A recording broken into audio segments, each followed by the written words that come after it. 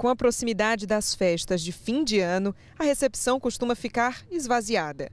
Mas a Fundação Emop abre as portas mesmo assim para receber quem ainda quer cumprir a meta de doar sangue este ano. Já queria doar, mas o corre-corre da vida, né? Aí aproveitei que hoje está tudo mais devagar e lá fazer a boa ação, né? Eleni aproveitou a folga para doar pela primeira vez. Domingo é meu aniversário, então eu vou comemorar de um jeito diferente. Ela ainda levou o noivo, Wesley, que chegou a passar mal, mas superou o medo de agulha para ser também um doador tenho medo de agulha, né?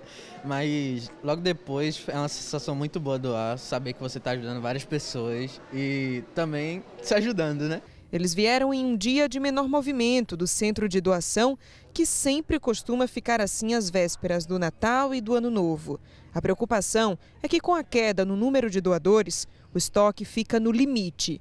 Na geladeira, tem no máximo duas bolsas de cada tipo sanguíneo. Nesse período de dezembro, é um período que a gente já tem uma queda normal no nosso volume de candidatos. Desde o início da pandemia, nós já observamos uma queda de 30% no nosso volume de candidatos e durante esse período de dezembro ela se intensifica ainda mais. Dos 16 até os 69 anos, 11 meses e 29 dias, você pode doar sangue. Quem nunca doou tem que vir antes dos 60 tem que estar bem de saúde, tem que estar alimentado. Quem vem pela manhã a gente pede para tomar café, à tarde almoçar, pesar acima de 50 quilos, não tem ingerido bebida alcoólica por no mínimo 12 horas, trazer um documento com foto, identidade, carteira de trabalho, habilitação original e também um comprovante é, de vacina, né? Diante de qualquer sintoma gripal, a gente pede que esse candidato aguarde pelo menos 30 dias após o desaparecimento dos sintomas para comparecer aqui no Hemocentro.